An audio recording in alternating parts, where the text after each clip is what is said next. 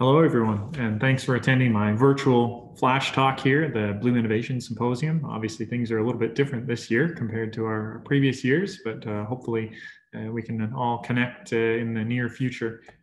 Uh, my name is David Shea, and I'm the Senior Vice President of Engineering for Kraken Robotic Systems.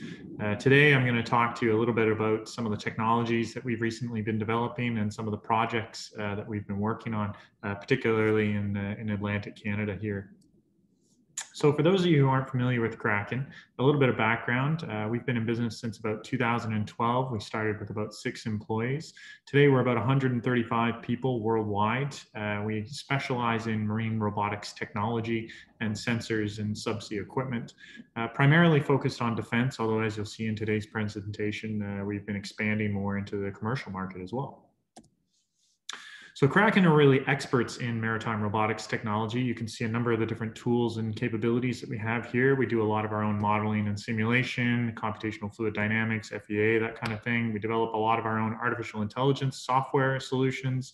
We build our own sensors, acoustic synthetic aperture sonars, optical underwater laser scanners, and we build our own hardware. We build pressure tolerant batteries, thrusters, and underwater systems. And we combine all those technologies into a few different platforms. Uh, our KATFISH system, you can see there on the top, the uh, Thunderfish, which is our untethered autonomous underwater vehicle in the middle there, and a subsea docking station. Uh, today, I'm primarily going to be talking about the KATFISH system. So when we started our business at Kraken, we were primarily focused on product sales. We've been building and delivering sonar systems and sensors, and we expanded into building our own components, being the batteries and thrusters. We started moving up market into building our own platforms, our own towed underwater vehicle, and our eventually our autonomous underwater vehicle, being the Thunderfish system. But more recently, we've actually been diversifying our business into a service-based business model, what we're calling robotics as a service and data analytics as a service, or RAS and DAS. And that's really what I'm here to talk to you today about.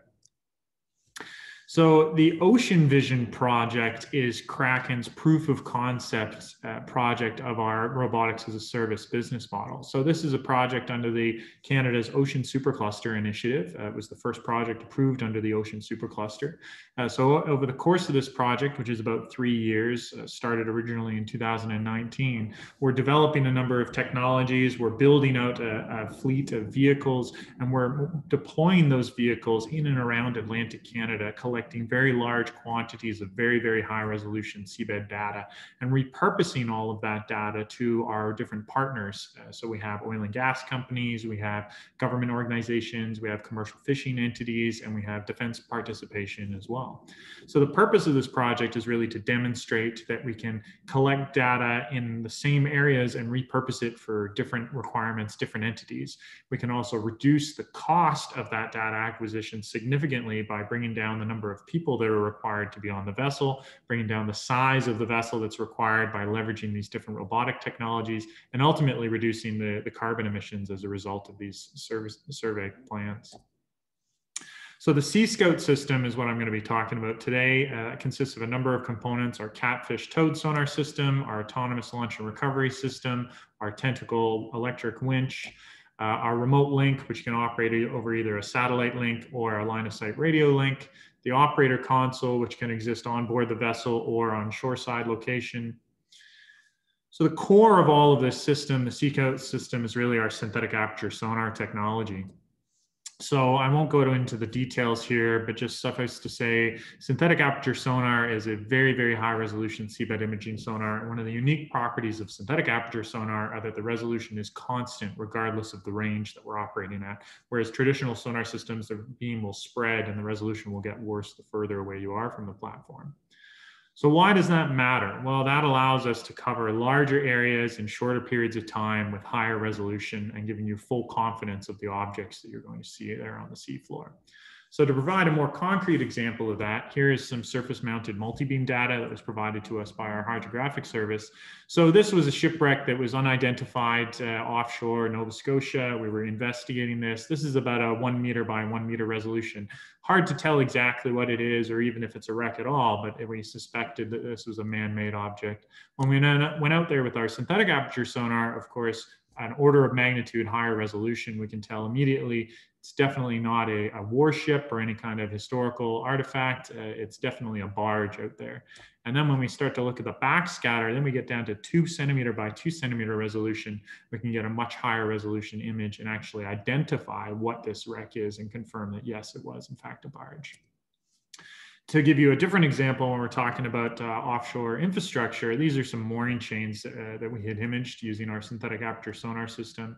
So we can see the individual links in the chain there, but more importantly, once we start to identify an area of interest on the chain, we can actually go in with our underwater laser scanner system and provide a 0.9 millimeter resolution image of those same objects, giving you a very, very high resolution image of the structure down there to identify what the different objects are, what might be the corrosion or the integrity of that chain.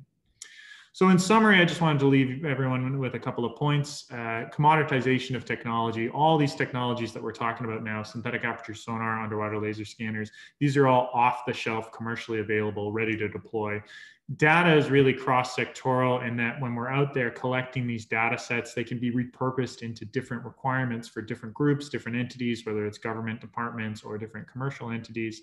And resolution matters. Ultimately, being able to inspect these objects, being able to identify these objects, and it helps to inform ultimately making better decisions in terms of safety, in terms of identifying objects out there in the environment. Thank you very much. And I would welcome any questions via email or please reach out to myself or uh, Shauna Cody, our, our marketing manager, who will be attending as well. Thank you.